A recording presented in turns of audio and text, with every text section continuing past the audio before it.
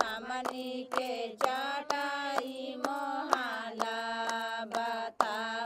दीदी। पहले शुरू में बहुत लाज लगता था, ड्रम टांगने में, लेकिन ड्रम जो गाए हम लोग बजाने तो पहले लगता था कि कैसे बजाएँ, लेकिन एक बार, दो बार, तीसरा बार में तो दम हम लोग का इतना हेडक ख़त्म हो गया कि अब दो दो, तीन तीन घंटा बजाते हैं।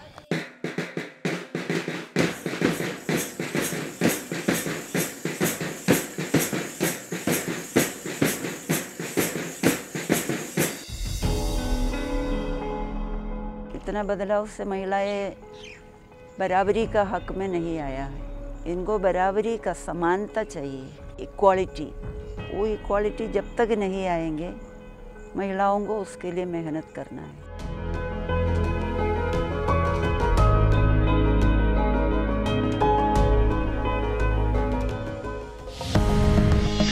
Download and subscribe now.